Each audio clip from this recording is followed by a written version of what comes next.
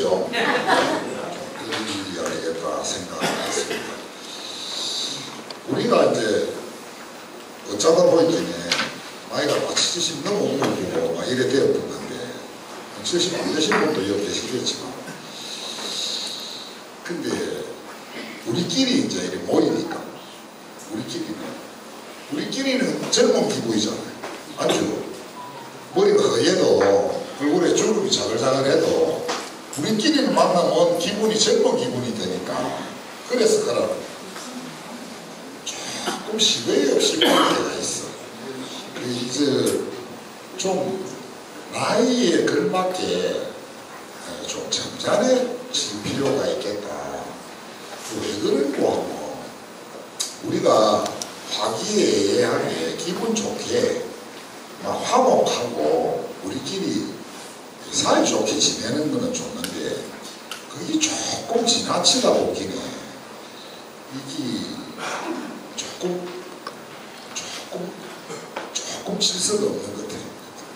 그래서 예, 말씀하시는 것도 너무 보물 없는 사회라고 할 말 못 할 말 다 해보고 조금 물란해지는 거라 그죠? 예, 좀 그렇게 조금 좀 생각하는 그런 우리가 됐어요. 좀 에, 새로운 분위기를 좀 분위기를 좀확 바꾸려고 젊고 예쁘고 날씬한 노래 감사를 초청을 했어요. 네, 오늘 에, 나와서 그, 한 1시간 반? 뭐 2시간까지 하겠노? 나는 죽어도 4시까지 이, 이 자리에 꼭 있어야 되겠더니 4시간인데 2시간 동안 노래 불러야 되겠다 들고 없지요? 네. 3시 반쯤 제로 해갖고 마무리를 짓도록 하겠습니다. 노래 강사님 자 새로운 노래 강사 강선미 씨입니다. 강선미. 이름도 외우십시오 소개합니다 여러분